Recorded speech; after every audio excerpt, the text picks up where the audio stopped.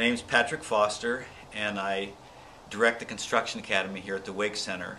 And the programs, I'm the department chair of the program Construction Technology. Perfect. But what we want to do is our lab. So this is a project that both our uh, uh, our fund grant program classes and our beginning construction class are working on together. And uh, we're making a shed for facilities here on campus. And uh, the camp, the Measure V funds are paying for the material, and then we're providing the labor with our students, and they get to build an actual structure. Try to have as many realistic structures as we can for them to build. All right, I'm Chris Johnson. I'm over at the City College, and um, right now we're getting this stuff ready. We're gonna set some rebar in because um, we're gonna build this shed up for the City College. Um, set the rebar, lay the foundation, and we're gonna start framing pretty soon. Terms of what a student needs to know to enter the program, they don't need to know anything.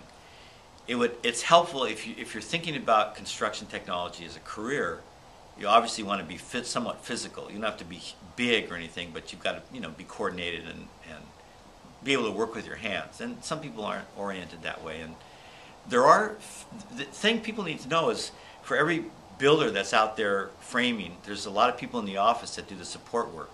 And sometimes it's middle management where they do takeoffs and lumber lists and estimating and there's all kinds of uh, things in an office that require people besides just the people that go out and build. So you may want to learn all that stuff to do something that's a little bit on the edge of the profession rather than the actual people that are building houses.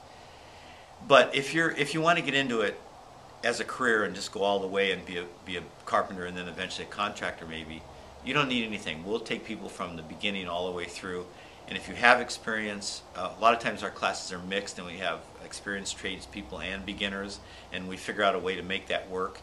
And it's, in five years I've been here, it's no, been no problem. So the younger people learn from the older people and the older people learn new stuff. We get a lot of people that are already working that come back and want to know specific skills in a certain direction so we can help them. But uh, the thing that most people lack is, are math skills and that's not even necessary to come in with those because we, if you go through the AS program, we have a required uh, math for the trades class, and it's a really unintimidating class, and uh, it's it's easy to teach people the fundamentals they need.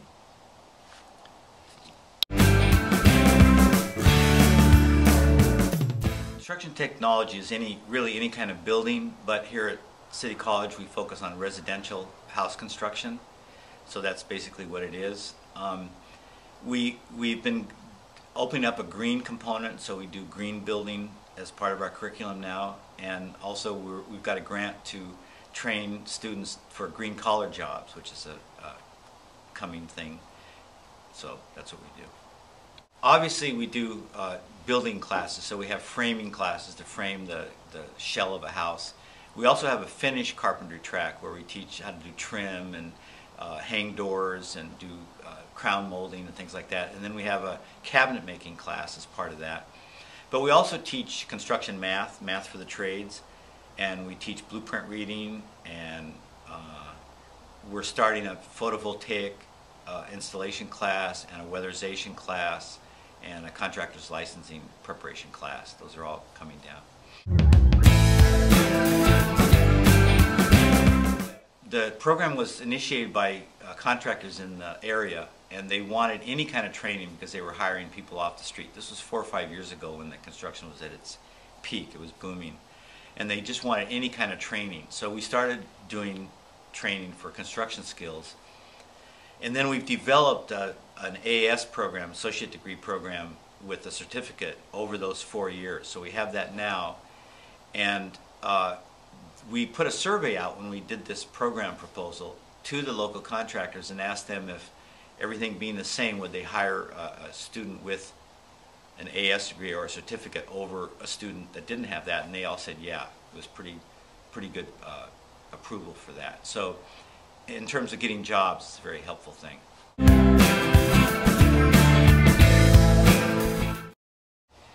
So most of our students are either in the building trade or want to become uh, carpenters or in the construction. But in my, uh, for instance, in my math for the trades class, I get architects and engineers, and they want to know more of the math specifically for construction for their own professions. And a lot of architects, for instance, take some of the building classes to see how a house is actually put together on the ground up as opposed to how it's designed. They're real obviously familiar with the design, but they like to get hands-on experience so they get a little bit more knowledgeable about what they're uh, designing to be built.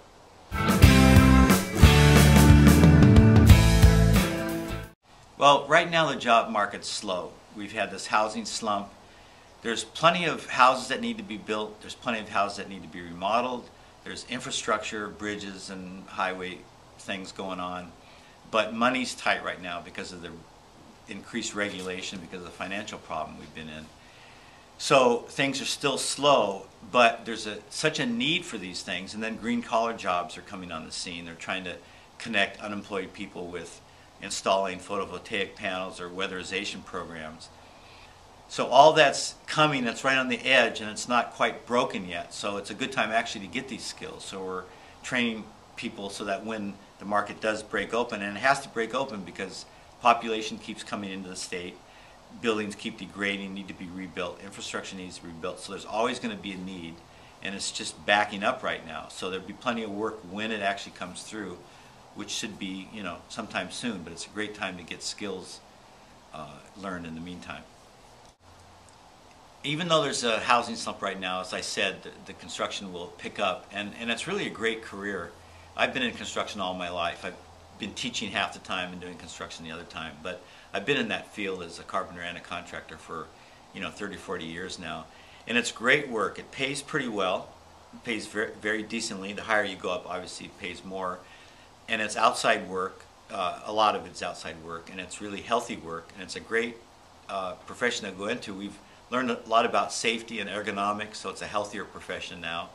And uh, it's really a good one to get into, especially if you're not academically inclined and you don't want to keep going to school to get degrees and graduate degrees in that direction. It's a great uh, career uh, direction to go into. In terms of uh, house building as a profession, um, it's, it's really a great profession. It's a nice alternative to academic things. It's also a good backup career. These days, uh, job security is really going the way of uh, old things. There's not much. It, it, it, almost pays to have several skills under your belt. For instance, I've been a carpenter all my life and a contractor, but also a teacher, so I can go back and forth.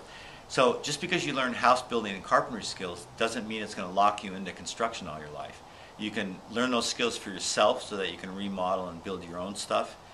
And you can always go in and out of it as a career and do other things as well. So people think because they go through this program, they, they're stuck for life being in construction industry. It's not true at all. They're just great skills to have for, for anybody. If you are interested in this career or learning more about it, um, just go to a counselor at City College and they will give, there's phone numbers you can call. They'll give you my number. You can talk to me directly if, if the counselors can't answer questions. We put up flyers around and there's also the school website.